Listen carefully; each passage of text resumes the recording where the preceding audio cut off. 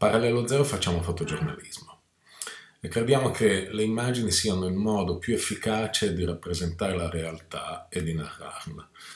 Durante i mesi più bui della pandemia abbiamo svolto un lavoro di documentazione quotidiana di ciò che stava accadendo, perché, perché era nostro dovere farlo, per quanto mai ci saremmo augurati di essere chiamati a documentare una tale situazione qui, nel nostro paese.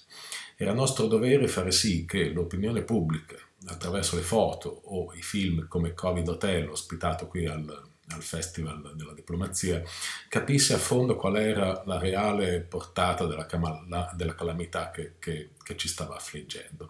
Ma abbiamo realizzato quel lavoro e gli abbiamo dato una forma organica sul sito dedicato Covid Diaries, anche perché sappiamo che le immagini sono il modo più efficace di ricordare e Covid Diaries per noi vuole essere proprio questo, una scatola della memoria.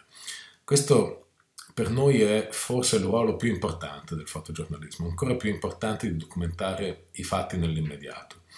Ci sono almeno tre validi motivi per ricordare. Il primo è per continuare a dare un tributo a coloro che in un passato recente abbiamo celebrato come eroi del momento, quando parlando dell'epidemia usavamo così spesso la metafora bellica, dare loro un tributo per non dimenticare che esistono e quanto importante sia la loro presenza nelle nostre vite, non solo nei momenti in cui si parla di trincee, di prime linee, di nemici invisibili, ma in ogni istante della nostra vita. Il secondo motivo è che i mesi del lockdown hanno reso ancora più fragili tante vite che lo erano già e hanno prodotto una nuova povertà ben più diffusa di quanto ci sembra di percepire guardandoci attorno. Abbiamo il dovere di non scordarci di quelle vite e ci auguriamo che le nostre immagini continuino a tenere desta la consapevolezza che esse esistono e che chiedono ancora aiuto.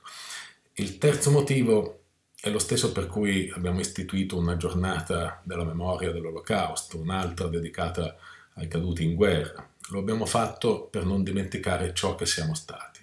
Soltanto sapere cosa siamo stati e continuare a ricordarcelo può aiutarci a definire chi e che cosa vogliamo essere oggi, chi e che cosa possiamo diventare in futuro.